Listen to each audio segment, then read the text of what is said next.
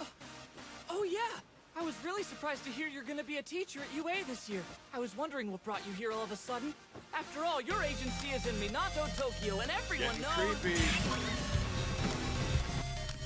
Today I'm going to share with you some easy ways of using umeboshi plum that are so delicious your taste buds will cry for more. Are you ready to share, Deku? Yes, more than anything. Watashi wa wakarumasu. First, here are a couple pro tips on using umeboshi. When used in cooking, the citric acid in umeboshi helps to tenderize protein and calcium. When cooking oily fish like mackerel and sardines with umeboshi, the bones become so tender that you can eat them and the sourness helps to counteract fishy or gamey flavor. I've heard that umeboshi served at the center of a bowl containing rice is said to be a symbol for the Japanese national flag. Is this true, Yuli? But why would you choose to give me a gift like that? Pureed umeboshi plums replace butter and salt for the most incredible tasting corn on the cob ever. Is this...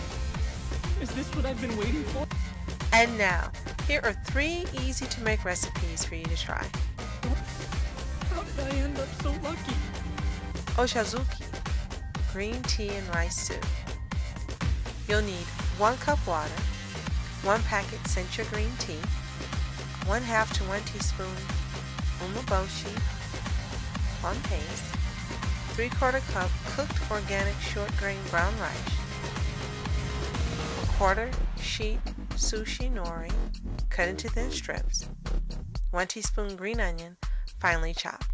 Now I love Lundberg rice. It tastes delicious, it's organic, and it's the only rice grown in the US that's being tested and proven to be arsenic free.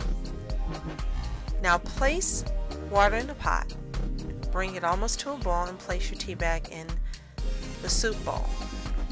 Pour the hot liquid over and steep for a couple minutes. Remove the bag and place the rice and umeboshi plum in the bowl. Stir Garnish with nori and scallions.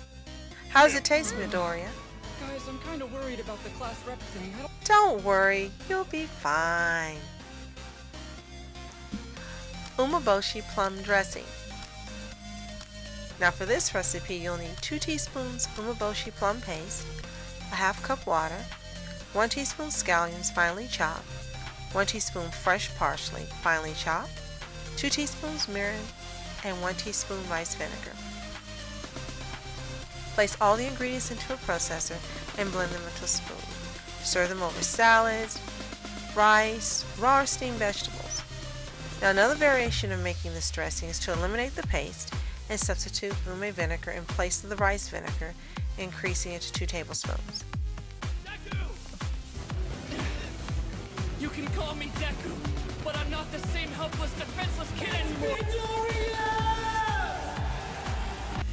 And lastly, Julie's rice noodle bowl. You'll need two bundles of rice noodle, two teaspoons miso paste, two cups hot water, fresh parsley, umeboshi paste, fresh ginger chopped, Bragg's amino, and an assortment of raw vegetables. I like to use green onion, chopped green beans, mushroom. We even use frozen peas. First, boil your water, add your rice noodles, and let them cook until they're soft. It usually takes about 5 to 6 minutes. If you want a softer noodle, leave them in as long as 8 minutes. But keep the water you cook the noodles in. Equally divide the rice noodle water. Add umeboshi plum paste to taste. I like it really soft. Add in half a teaspoon fresh garlic, a squeeze of Bragg's aminos, one teaspoon in each bowl of the miso powder, and stir. Now for a little more color and a little more variety and flavor, I like to add a little paprika and also some black pepper. Wow!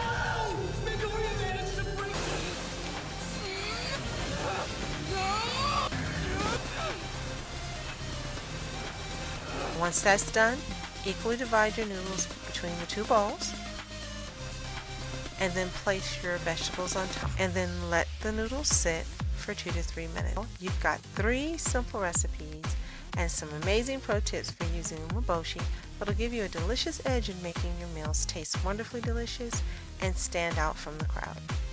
Let's give a hand to my amazing assistant.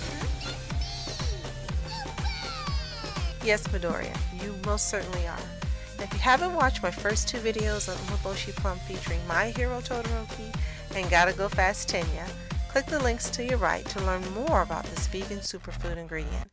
And click the bell to be notified when I post my final video in this series featuring You Got It Baku as we share with you how to make your own umeboshi paste and vinegar at home. Tell him Baku. Alright, fine, so I may have walked into the wrong room don't think that means I'm not gonna be on top of my game, you got that? You better bring all you got to this, Icy Hot! You already said that. Thank you, Deku. You've been terrific, and you're definitely a superhero. Right, All Might? Anyway, you were a big help! Thank you.